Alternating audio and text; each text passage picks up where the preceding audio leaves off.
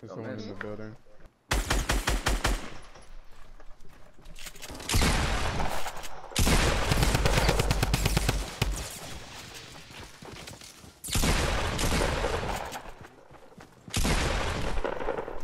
John.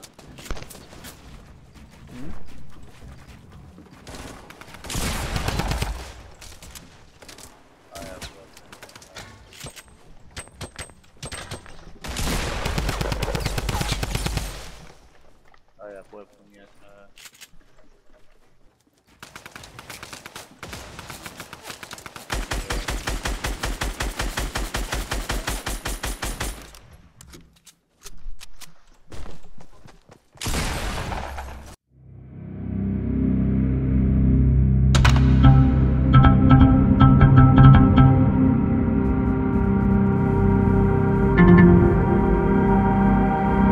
Yo, what's going on, guys? It's your boy Motion bringing guys another video. In today's video, I'm going to show you guys how to achieve one of week three challenges in season five in this video. So the challenge is Fortnite shooter clay pigeon in different locations. I will show you guys all the locations in the game. Not many people know about this just because one, um, it's something that they just added into the game. I think in one of the recent updates. So it's really cool that they brought this into Fortnite. But it's basically a clay pigeon. If you guys can see playing in the background right now is gameplay of every single location of me finding it for you guys. If you guys want to pause the game or something, I'm going to put an image on screen right now. This image that you see on screen right now, this is every single location. I believe there's like five or six of them. So if you guys do want, go to these locations. You can pause the video, take a picture of this, just look at the map. But if you don't want to look at the map and you actually want to see actual visuals of each location, keep watching the gameplay playing in the background and it shows you exactly every single location. I went to each location on my own. I did it in playground mode. Now again, you cannot do this in playground mode. You have to do this in a normal solo squad or duo gameplay or 50 versus 50. You cannot do it in playground mode. Playground mode is not made for uh, completing challenges or anything like that. It's just for like having fun, trying things out. It's like a private lobby basically. So you can't do challenges in a private lobby.